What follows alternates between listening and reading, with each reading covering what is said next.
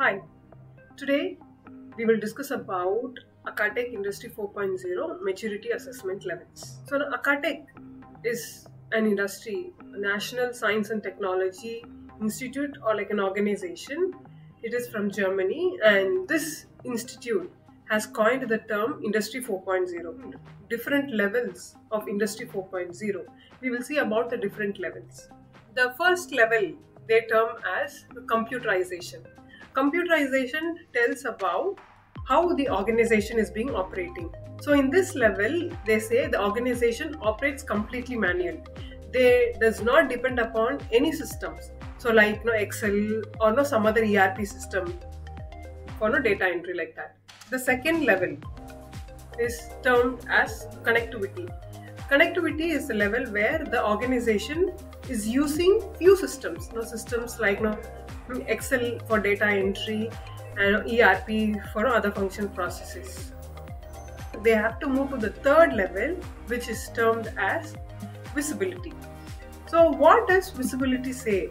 Is what does actually happen in the system? Visibility is the different systems in the functions they get connected together and the data is visible to the people in the organization. Next is the fourth level. It is termed as transparency. So transparency says why does it happen? It actually gives the reason why that particular data is being no visible. Like we can understand the data. So that is transparency. Next is level 5. It is called predictability. The word itself says we can predict data. The details or the data we have from the visibility and the transparency stage, we can work on the data to give a predictive value. We can tell how or what will be the future, the forecasting data, what will happen. So that says in the predictability. This is the adaptability level. This is the sixth level this is the stage where the complete process or the complete organization is not autonomous. So, these are the six different levels of Industry 4.0 where we can tell whether the organization is in a connectivity or visibility or transparency stage to understand the state of the organization.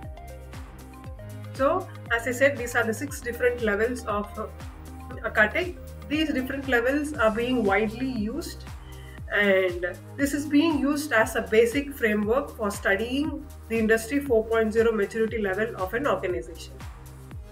So thank you.